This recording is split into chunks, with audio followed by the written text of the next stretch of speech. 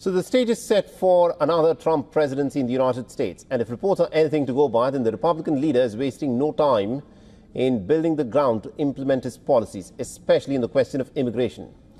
At an interview to NBC News, the president-elect revealed that there will be no price tag to the expense incurred for carrying out what Trump has previously called the biggest mass deportation in American history.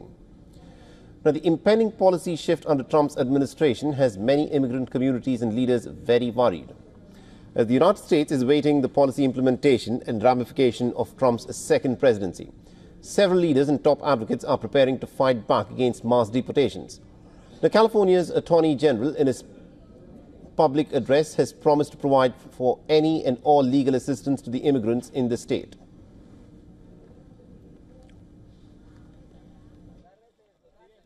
I can promise to the undocumented immigrant community in California that I and my team have been thinking about you for months and the harm that might come from a Trump administration 2.0.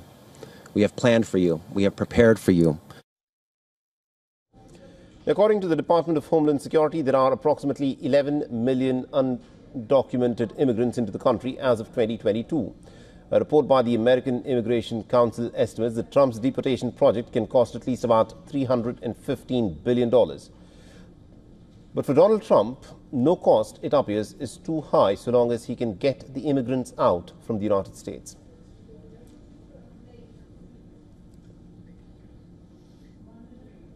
And we earlier spoke with the Voice of America correspondent Carolyn Presutti, who joined us from Florida, and this is what she had to say. Well, that remains to be seen. We do have a couple more details, though, on that mass deportation. Um, apparently, we're looking at about a million people a year to be deported. Now, the question is, how do you find them? Apparently, the president elect is going to enlist the help of diplomats worldwide, the military here in this country, and other government agencies to round up undocumented immigrants and then return them to their country.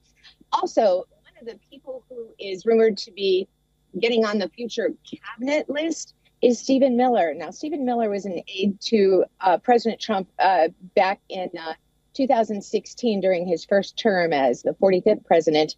And Miller was the one that uh, championed the Muslim ban into the United States. So he is rumored to be assisting with that first week when President Trump gets into office on January 20th to arrange these deportations and just the logistics on how to do that.